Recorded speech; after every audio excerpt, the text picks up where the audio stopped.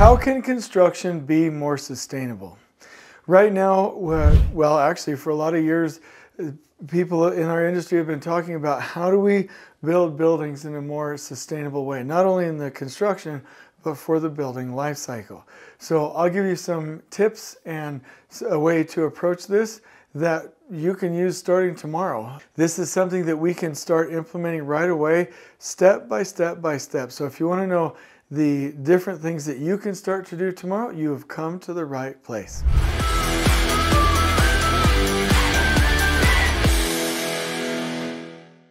So sustainable construction focuses on minimizing the environmental impact throughout construction. And so that means that we are being really responsible with how we build the project.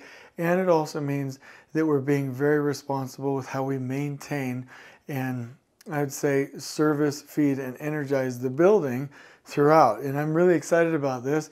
We work with a developer. This is kind of a little bit of name dropping. I hope it doesn't sound like bragging, but we'll be building net zero buildings. It, it takes a little bit to do this, right? So when we're doing net zero buildings, there's a lot more coordination with the power company. There's a lot more coordination from an electrical standpoint. We've got solar panels. We have additional wall insulation. We have different types of equipment. So it is a consideration. Now I'll, I'll go ahead and, and just recap a little bit of the conversation that we had just recently while he was taking me to the airport. Said typically when people think about building a sustainable project, either from a construction process or system standpoint or throughout the building life cycle, they're like, it's going to take 10 years to recoup my money. But when you actually look at all of the numbers and how much a net zero building or an energy efficient building is worth, from a purchase or a rental standpoint, you can start to see that the numbers actually balance out. You get a return on your investment much, much sooner. And if you ever want to dive into the numbers, please just reach out to me in the comments below and I will connect you with some of these really amazing developers that I know that are doing this and building more sustainable projects. So it is possible. It is pretty amazing. It is it's it's really nice to consider for the future and it's something that increases the property value. So why not? So let's head in this direction.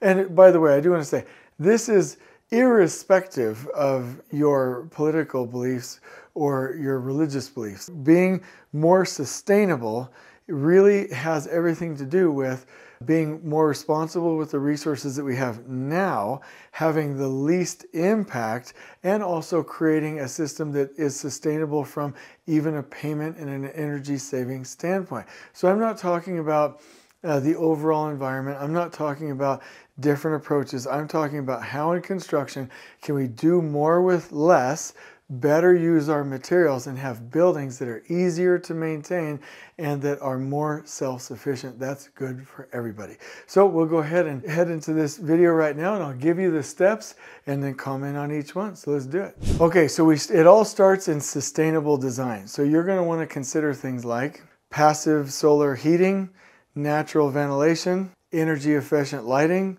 things like that in the design early on because you have to coordinate that not only with some of the utility companies, but with the exterior design and the overall layout and the system design when it comes to the electrical, mechanical, mechanical plumbing, and then the exterior insulation systems. So this all starts in design. And you know what I found out? When it comes to sustainability, if it pencils out, so that's one consideration when it comes to sustainability and prefabrication, anything like this that we want to do, it all starts with just asking the question and having a team that will buy in early on in design.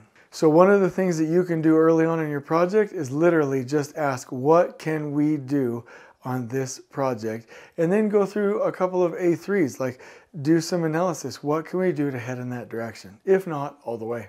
Number two, material selection. And this is something that you can also bring up with your design team is use eco-friendly materials, things that can be easily recycled, things can, that can be easily reproduced. The other thing is choose materials that have the lowest impact when it comes to manufacturing, production, transportation to get it to the project site.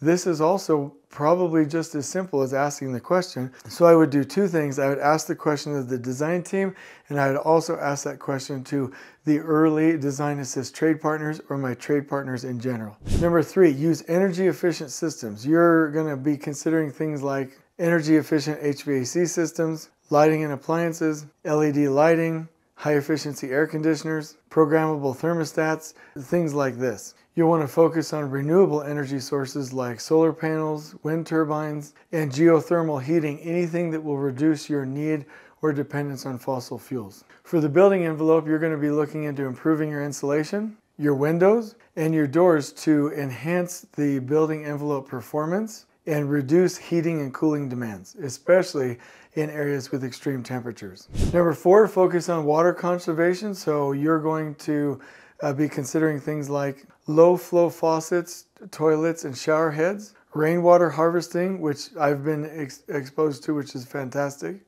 for the purpose of reusing it for flushing toilets or for irrigation or for any non-potable uses. Number five, waste management. Obviously during construction and throughout have permanent ways to uh, do effective recycling. During your demolition, attempt to salvage anything that can possibly be salvaged, including the asphalt for millings for your construction project. And the list goes on and on. But I want to say, please like and subscribe. No, wait, I lost, no, not, yes, please like and subscribe, but let me give you the rest of it. From a high level standpoint, I want you to consider and be open to the following. Focus on indoor environment quality through ventilation and natural lighting. Use green construction practices like prefabrication and modular construction. Build durable facilities that are easy to maintain so that the overall life cycle is enhanced and optimized. And as a company, focused on education and training. There's absolutely no reason to, to not at least every quarter or every half year or every year dig into some of these concepts and really understand how you can build a more sustainable building and really uh, protect our environment and make sure that you are on the cutting edge of these practices, not just for the environment that we live in, but also to be more competitive and to increase the value of the things that you're building. So it really all comes down to knowing what's out there asking the right questions in design and of your trade partners, and starting step by step to implement these things. And I promise you, on any one of your projects, there's at least one or two things that you can do tomorrow simply by asking the question. So in the description below, I am going to provide a Canva graphic that shows the list of things that you can consider so that you can see if this will fit into your future projects and help your projects to be more sustainable. I hope you've enjoyed this video. On we go.